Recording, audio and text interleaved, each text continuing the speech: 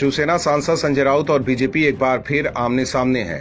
महाराष्ट्र में केंद्रीय जाँच एजेंसियों की कार्रवाई के बाद से लगातार राउत केंद्र सरकार पर हमला बोलते रहे हैं। संजय राउत अपने बयानों के लिए हमेशा सुर्खियों में बने रहते हैं। कभी अपनी सरकार की पीठ थपथपाने लगते हैं तो कभी अपनी पार्टी शिवसेना की जमकर तारीफ़ करते हैं। शिवसेना और मुख्यमंत्री उद्धव ठाकरे का पक्ष भी अक्सर संजय राउत ही रखते हैं। संजय राउत इन दिनों बीजेपी और मोदी सरकार पर जमकर हमला बोलने में लगे हुए थे।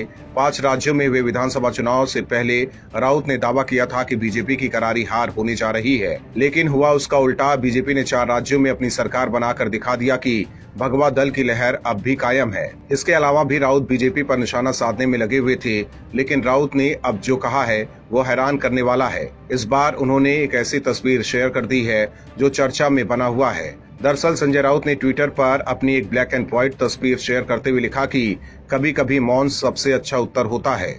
संजय राउत के इस ट्वीट पर लोग भी अपनी अपनी प्रतिक्रियाएँ दे रहे हैं। रिजवान नाम के एक यूज़र ने लिखा है कि बेवकूफ़ और जाहिलों के मुकाबले मौन सबसे अच्छा उत्तर होता है। एक यूज़र ने लिखा है कि राउत की बोलती ईडी ने बंद कर दी है। फैजल नाम के यूज़र ने लिखा है कि मुझे तो विश्वास ही नहीं हो रहा है। मुझे लगता है कि इनका अकाउंट ही हैक हो गया है। संदीप शुक्ला ने लिखा है कि अगर आप ऐसे ही मौन रहे तो शिवसेना बच जाएगी। कृष्ण नाम के एक यूज़र ने लिखा है कि अगला मनमोहन सिंह शिवसेना से ही होगा।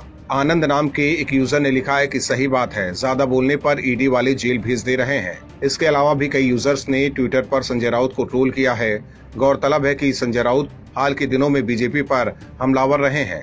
पाँच राज्यों के विधानसभा चुनाव के दौरान भी वो लगातार बीजेपी के खिलाफ खुलकर बोलते रहे। वहीं नवाब मलिक की गिरफ्तारी और केंद्रीय जाँच एजेंसियों द्वारा घाड़ी के नेताओं पर हुई कार्रवाई पर राउत बीजेपी के खिलाफ खुलकर हमलावर थे लेकिन अचानक उनके इस तरह के ट्वीट से कई सवाल खड़े हो रहे हैं। ब्यूरो रिपोर्ट ओएमएच न्यूज़ और भी वीडियोस देखने के लिए चैनल को सब्सक्राइब करें और बेल आइकन को दबाएँ।